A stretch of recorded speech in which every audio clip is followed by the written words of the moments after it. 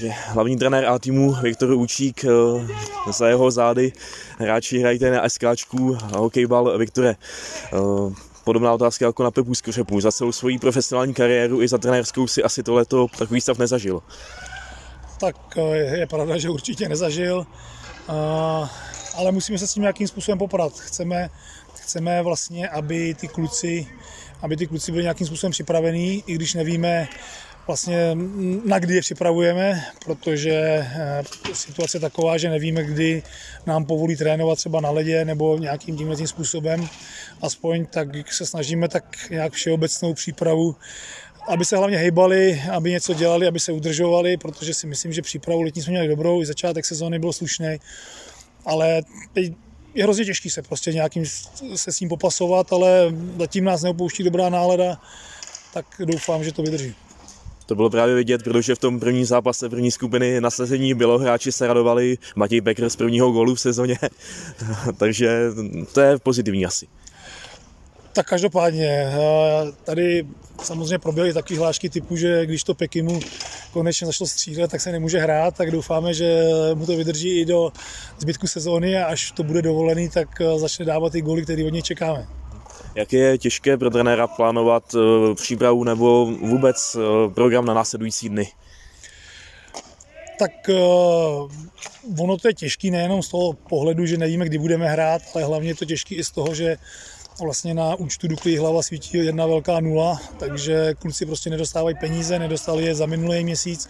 A dneska jsme vlastně měli rozhovor vlastně s panem jednatelem s Čerbanem ten říkal, že prostě bohužel žádný peníze nejsou a uvidíme, jestli nějaký budou. Doufáme, že teda aspoň něco přijde z, vlastně z sportovní agentury, že si na ty peníze budeme moct šáhnout a klukům zaplatit aspoň nějakou část mzdy. A, takže si myslím, že když se na to podívám, na jejich náladu a nasazení, tak na hobíky celkem slušná záležitost. Kdy ty se očekáváš nebo odhaduješ, protože je těžké něco predikovat, kdyby se mohla soutěž zase třeba rozjet? Já vůbec nevím, protože sami asi všichni víme, že ty nařízení přicházejí nějakým způsobem tak živelně a nekoordinovaně, že vůbec nikdo neví, co, co bude, co bude za, za, za den, za týden. Vždycky se řekne, že to bude na nějakou dobu, během té doby už se řekne, že vypadá to hůř, pak se to samozřejmě potvrdí a takže já jsem sám v očekávání a pořád věřím eh, nějaký selský lidský rozum a že to konečně snad převezmeme nějak do svých rukou a budeme si naše osudy a životy řídit sami.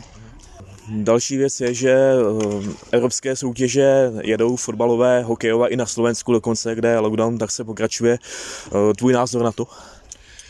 tak asi mají rozum. Asi vědějí, že eh, prostě když máme promořený hokej takým způsobem, jakým máme, my vlastně kromě tří hráčů a jednoho člena realizačního týmu jsme vlastně všichni si tím prošli, a už určitě máme nějakým způsobem vytvořené protilátky, tak si myslím, že by mě nemělo nic bránit tomu, aby my jsme spustili naše soutěže taky, ale prostě bohužel říkám, my to nemáme v svých rukách a, a byli bychom rádi, kdyby se i do politiky dostala logika.